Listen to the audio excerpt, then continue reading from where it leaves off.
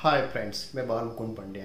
आज आपके लिए जो वीडियो लेके आया हूँ कि सोसाइटी के अंदर कोऑपरेटिव हाउसिंग सोसाइटी में चेयरमैन सेक्रेटरी और ट्रेजरर उनका काम क्या होता है? आप लोगों का बहुत सारे सवाल मेरे पास थे कि सर आप हमको विस्तार से बताइए कि सेक्रेटरी चेयरमैन और ट्रेजरर का क्या काम होता है। मैंने कैसे कमेटी बनानी है, उसके लिए एक वीडियो ऑलरेडी बना दिया है तो अगर आपको ये देखना है तो आप डिस्क्रिप्शन बॉक्स में से वोट करके चेक कर लेना। दोस्तों सोसाइटी के अंदर ऐसे बंदे को आपको सेक्रेटरी चेयरमैन और ट्रेजरर सिलेक्ट करना चाहिए, जिसके पास थोड़ा टाइम हो, अनुभव हो और वो सही में काम करना चाहता है।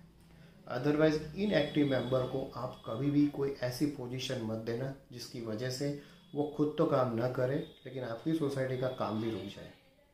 तो सबसे पहले आपको सिलेक्शन जो करना है प्रॉपर करना है कि जो आपको काम आ जाए। अदरवाइज़ आपकी जो सोसाइटी में प्रॉपर मेंटेनेंस नहीं होगा मेंटेनेंस नहीं होगा तो आपकी सोसाइटी जो है, उसका रिसेल वैल्यू कम हो जाएगा। अब हम बात करते हैं कि आपने सिलेक्शन कर दिया तो what is the role of chairman chairman का रोल क्या है? जैसे एक कंपनी होती है, वो कंपनी के अंदर जो जनरल मैनेजर होता है जनरल मैनेजर का काम जो है same activity that has been done by the chairman chairman को ओवरऑल जो फ्लैट है सोसाइटी है या तो अपार्टमेंट है इसमें प्रॉपरली सही चीज़ सही तरीके से सही कंप्लायंस में हो रही है कि नहीं हो रही है वो देखने की ओवरऑल रिस्पॉन्सिबिलिटी उसकी है। Is the authorise person for doing this और मीन्स फॉर कर, काम करवाने का ऑथोराइज पर्सन है। अभी आप बात करेंगे कि उसमें सर क्या क्या थोड़ा डिटेल में बताइए तो डिटेल में ये चीज़ बताना चाहता हूँ कि सपोज़ कि वो सेक्रेटरी जो काम करता है ट्रेजरर जो काम करता है, उसके ऊपर उसको ध्यान रखने की है ओवरऑल चेक करने की है और उनको कोई आपत्ति आते है तो उनको रिजॉल्व करने की जवाबदारी उनकी है। तो ओवरऑल चेयरमैन का काम हुआ है कि इज़ अ चेयरपर्सन उसको everything to to be as per the plan as per the AGM के हिसाब से काम करने की, काम करवाने की रिस्पॉन्सिबिलिटी है।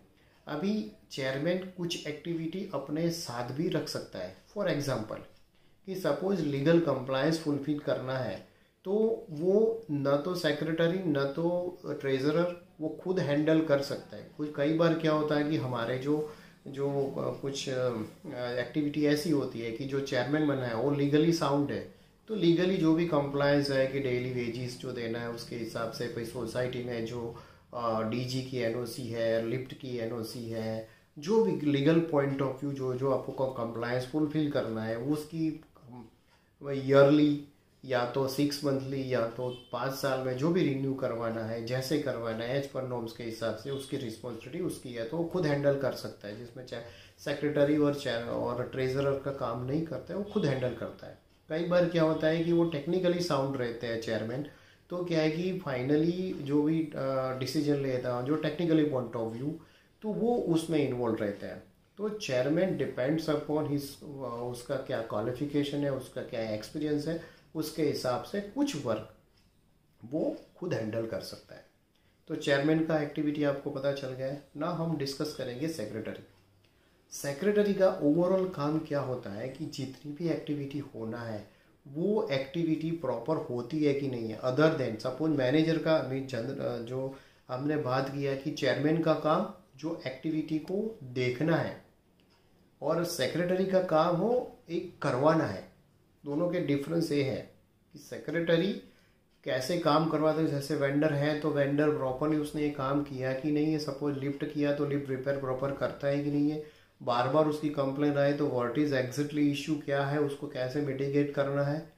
सपोज़ कि कोई ऐसी एक्टिविटी है जिसकी वजह से जहाँ पे मीन्स कोई पेंटेनेंस काम आ रहे हैं कोई एक्टिविटी करने के बाद उसको प्रॉब्लम आ रही है तो वो प्रॉब्लम न हो, कोई रिप्लेसमेंट करना हो तो उसके लिए सजेशन कोटेशन मंगवाना हो, कोई एक्टिविटी ऐसी होगी जिसके अंदर आपको मल्टीपल वेंडर से काम करना है तो एक वेंडर को फाइनलाइज करके सब वेंडर के साथ कैसे काम करवाना है, कैसे इकट्ठा करके फाइनलाइज करना है, और वो रिप्रेजेंट करके आपको चेयरमैन के पास रजू करना है।